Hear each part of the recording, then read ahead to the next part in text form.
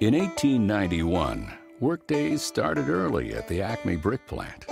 Workers had about a half hour before the sun would rise and the second whistle called them to their day's work.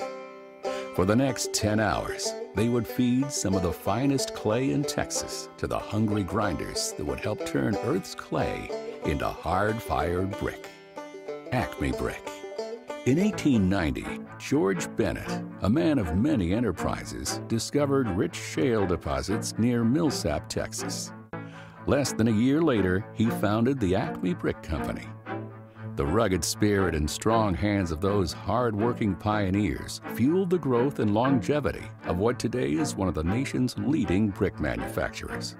While mining clay is still a tough job, today's modern earth movers make it possible for Acme to disturb only a minimal amount of terrain to get the raw materials for making brick. Later, when all of the usable clay has been removed, the Acme team will regrade the surface and plant vegetation to reclaim the land for other uses. Over the last five or six years, uh, we've planted more than 400,000 trees. The Brick Industry Association has a biennial awards program that recognizes outstanding environmental achievements, and Acme has won that award every year that that award ceremony has, has gone on. After the clay is mined and stockpiled, it's transported directly to a conveyor belt, dropped into crushers, sifted through screens to separate particle sizes, and held in storage hoppers that are two stories high. Because of the natural variations in clay deposits, Acme carefully blends clay stockpiles together to achieve an enduring balance of strength and beauty. Pretty much this whole grinding operation is computerized.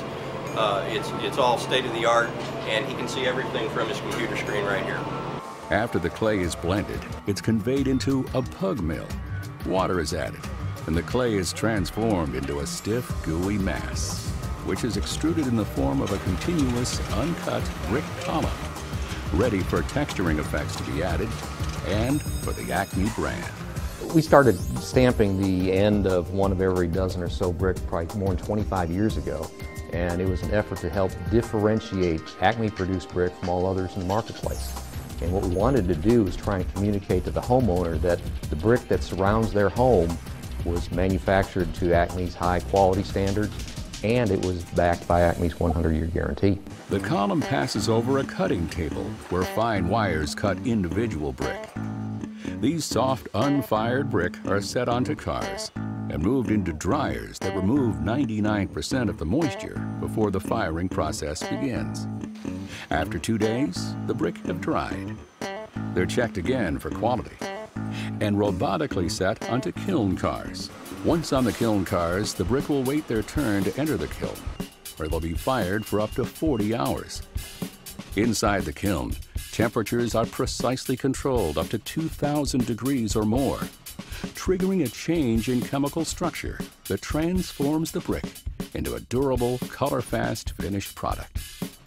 Because firing is the most exacting and unforgiving step in manufacturing clay products, technicians monitor each temperature stage with the help of automatic controls. After firing, the bricks are moved out onto the factory floor to cool. At every stage of production, Acme inspectors check to make sure the quality remains consistent. Well, the quality control really begins in the stockpiling, but every phase along the operation we have quality checks. Of all the brick that Acme makes, less than 2% fail the inspection process. But they don't go to waste.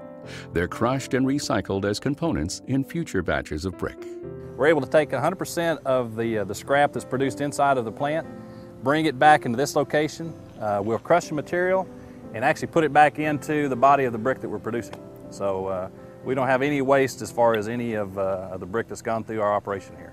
Those brick that make it through the inspection process are banded and loaded onto Acme trucks for delivery right to the job site. To stay close to our customers, Acme has brick plants throughout Texas, as well as plant and sales locations in Arkansas, Kansas, Louisiana, Missouri, Oklahoma, Colorado, Minnesota, and Tennessee. When you add it all together, there are lots of elements that go into making Acme a solid brick company. You can count on Acme. Acme builds great brick. Acme means reliability. Acme quality is solid. Reputation for reliability.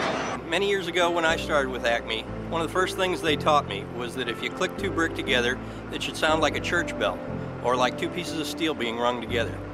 And it should sound just like that. It's Acme quality. We make it easy for customers to choose Acme.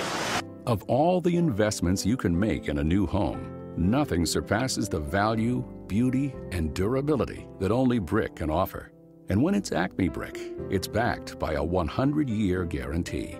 That's confidence you can count on. And that's why we say, since 1891, Acme Brick is the best thing to have around your house.